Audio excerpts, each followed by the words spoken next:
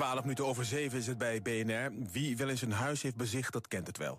Je neemt een dagje vrij, je gaat op pad met de makelaar... en dan lijken de meeste huizen in het echt toch net even een stukje kleiner... of misschien wel groter of donkerder dan op de foto. Makelaarsorganisatie Woningadviseurs plaatsen daarom als allereerste makelaars ter wereld 3D-filmpjes en foto's op hun website. Zo kan je lekker vanuit je luie stoel een huis bezichtigen. Aan de telefoon nu uh, Janetta Dorsman van Woningadviseurs. Zo is het toch, Janetta?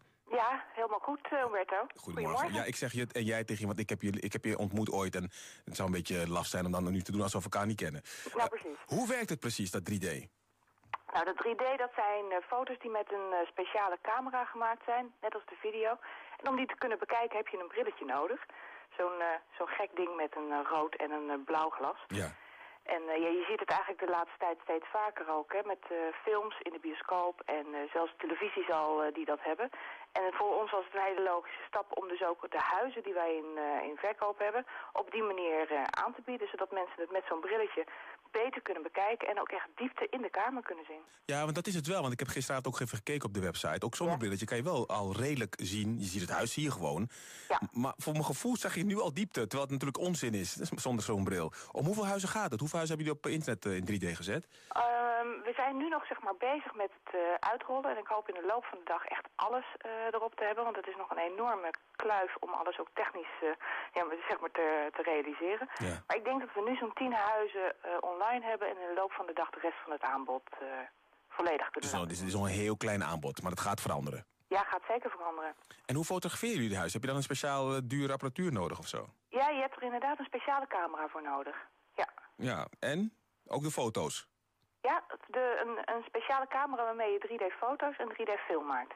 En is het voor de cliënten die hun huis in 3D op internet willen zetten... ook duurder dan gewoon plat op internet? Uh, voor onze cliënten niet. Oké, okay, maar wel voor als er nieuwe cliënten bij komen die niet bij jullie zitten, moeten ze extra betalen natuurlijk, hè? Nou, niet, niet zozeer voor de dienst, maar gewoon voor, voor de dienst van een huis bij ons te verkoop zetten. En waarom doe je het? Ik bedoel, het is natuurlijk om dat huis aantrekkelijker te laten uitzien, maar is het ook nodig op dit moment in de huizenbranche? Ja, ik denk dat het nodig is om in een tijd als deze, waarin er zoveel huizen te koop staan, om iets te doen waardoor mensen nog meer informatie krijgen over het huis. Want... Uh, ja, weet je, als je nu gaat kijken in een bepaalde prijsklasse, dan zie je zoveel huizen, die kun je toch niet allemaal gaan bekijken. En uh, dan gaan mensen elimineren. En dan willen ze alleen nog maar die huizen overhouden waarvan ze echt denken dat het wat is. En mijn mening is, door juist zoveel mogelijk informatie te geven... geef je mensen tools in handen om die beslissing te kunnen nemen. Beter te kunnen nemen dan dat nu is. Ja, sommige mensen die nu luisteren en die horen de naam Janetta Dorsman... die hebben misschien ook een andere uh, idee meteen, meteen bij je naam. Vorig jaar getrouwd ben je. Nou, het is op zich niet zo bijzonder waar meer mensen trouwen. Maar je bent als de eerste twedding heb jij gedaan. Ja, dat klopt. Ja, huwelijk via Twitter. Wanneer komt we elkaar ook al aan de lijn. Precies. Wanneer, ja. wanneer komt de eerste twakelaar? De... nou, misschien heb je die nu al aan de lijn. Dan. Ik wens je veel succes met het 3D-project. Janetta Dorsman van uh, Woningadviseurs.